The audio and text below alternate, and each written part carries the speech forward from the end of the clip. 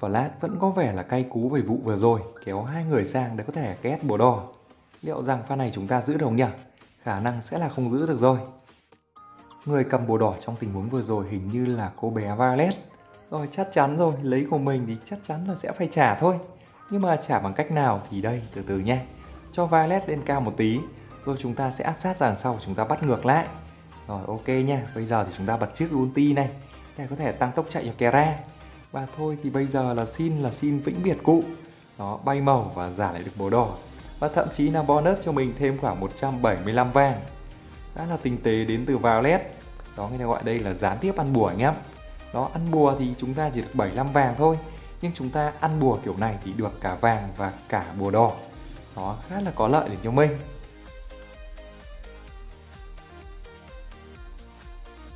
Từ nãy đến giờ là chúng ta cũng đã có được ba mạng rồi.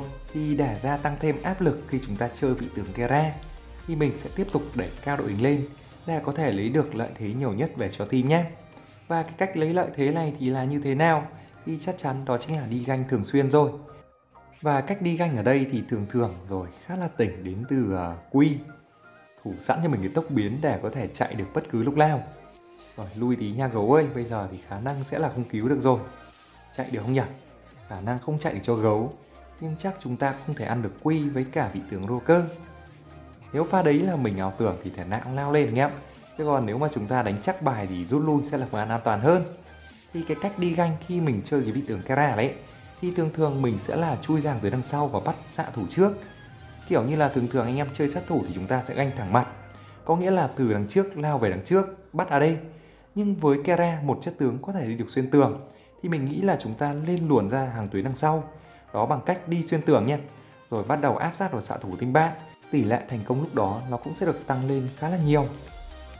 Tí nữa trong cái trận đấu này thì mình cũng sẽ ví dụ cho anh em vài pha để anh em có thể hiểu được dễ hơn nhé. Rồi thì tiếp tục đến với bộ kỹ năng của cái vị tướng Gera. Thì trong dạng đầu trận chúng ta cũng đã đề cập tới vị tướng Gera là một vị tướng có khả năng đi xuyên tường. Rồi lui tí anh em ơi, pha này thì khả năng sẽ là không cứu được rồi rồi dìa được tí nào sát thương chúng ta dìa anh em chiếc con ở đây tới tận hai người cũng khá là áp lực. Rồi có Superman đến ứng cứu và bây giờ thì chắc chắn là một mạng đến từ Rocker này. Cô bé Aya thì bây giờ mất đi người để bám đi trông cũng có vẻ khá là bất lực Nó chạy trong vô vọng. Và ba mạng dành cho team mình ở phía khu vực đường kinh công. Rồi liệu dán được lốt the flash không nhỉ? Nhưng khả năng sẽ là không rồi, chạy cũng rất là nhanh. Đầu tiên chúng ta đến với nội tại của vị tướng Kera thì cũng không cần phải hình dung nhiều, chúng ta chỉ cần hiểu đơn giản là Kera là một vị tướng có khả năng hút máu ngay từ trong mặc định. Thế nên khi chơi cái vị tướng này thì chúng ta không cần thiết là phải lên quá nhiều ngọc hút máu dành cho vị tướng Kera này nhé. Flash thì bây giờ khỏi chạy rồi, có thêm cái ma chú gắn ở trên đầu thế kia thì muốn chạy được thì may ra là phải có sức mạnh niềm tin với cả sức mạnh tình bạn đến từ Yugi thì may ra là chạy được. Tiếp tục đến chiêu 1 của cái vị tướng Kera thì chiêu thức này mình thấy là một chiêu thức khá là quan trọng trong quá trình chúng ta đi ganh. Nếu mà dùng chúng chiêu 1 thì là ăn cả, còn nếu dùng trượt thì thì vẫn ăn được mạng nhưng mà nó sẽ hơi khó một tí. Cái chiêu 1 này khi chúng ta sử dụng chúng tướng địch thì Kera sẽ khống chế tướng địch lại và sau đó ghim lên người tướng địch một khắc ấn. Và sau khi chúng ta dồn sát thương rồi thì cái chiêu 1 nó sẽ tự động nó giật lại vào người đối phương và cái lượng từ từ chạy tí đấy chém gió sau nhé. Chứ không bây giờ không chạy kịp là cũng vang laser flash. Đó, cái chiêu một thì à, sau khi chúng ta dồn sát thương, nếu mà sát thương anh em dồn càng nhiều thì lúc cái à, bóng của cái chiêu một nó giật vẻ, thì sát thương sẽ càng lớn. Còn đến chiêu 2 của cái vị tướng à, Kera, có tên là tam giác quỷ với chiêu thức này thì có hai tác dụng chính. Thứ nhất, để giúp chúng ta chạy.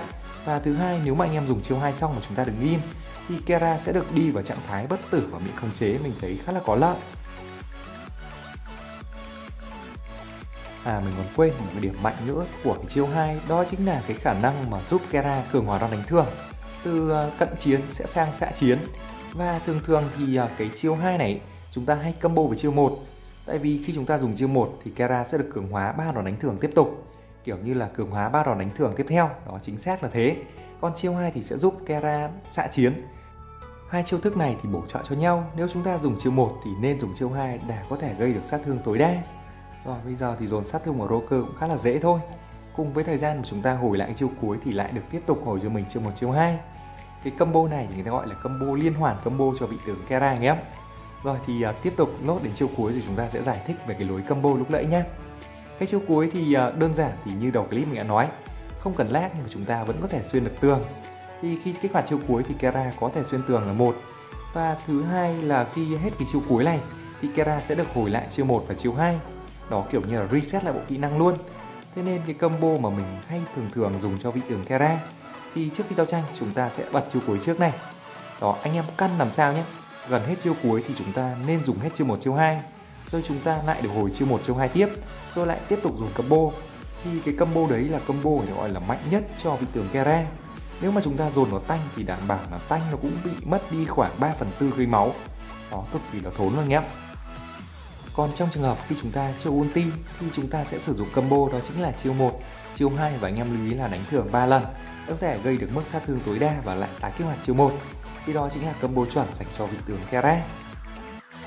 Lối chơi khó chịu nhất dành cho vị tướng Kera thì thường thường sẽ là cái lực combo người ta gọi là cứ ờ, lao vào nhé đó anh em lao chiêu một vào chiêu 2 chúng ta cấu rỉa.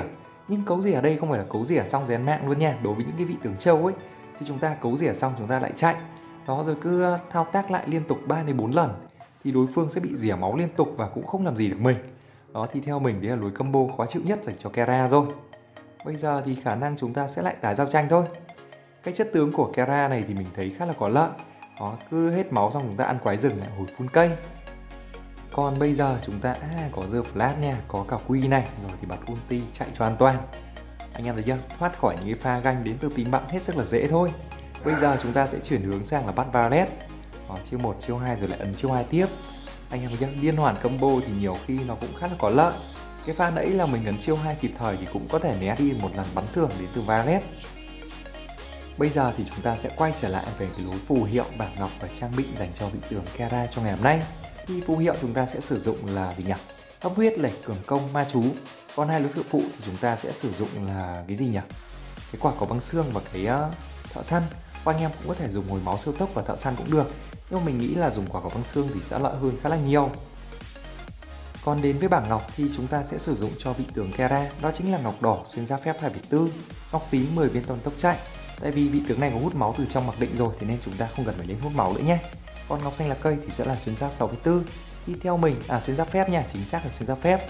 Đó, thì theo mình, đây sẽ là bảng ngọc mạnh nhất cho vị tướng Kera bây giờ thì chúng ta sẽ núp bụi một tí nhanh nhé rồi lộ vị trí rồi thì chúng ta sẽ đổi bụi bên dưới để cho team bạn không bị phát hiện. Nhưng trước tiên để không bị lộ chúng ta phải phá trụ ấy đã Tại vì cái trụ ở đây thì lúc mình chui vào team bạn nó sẽ biết mình ở trong đấy.